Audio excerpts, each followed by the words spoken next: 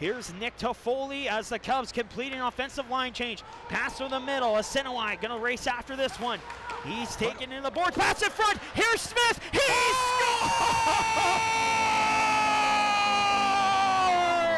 Oliver Smith! Oh, captain, my captain! In overtime! And the Cubs have their first overtime win! And the Cubs have won it three to two. The captain, Oliver Smith, in overtime. And Samuel Asinaway, who you mentioned several times, kept off the score sheet while not in the end. Asinaway with the beautiful pass over.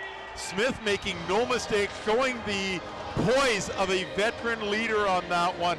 Great effort by Sudbury tonight, all the way around. Nice to see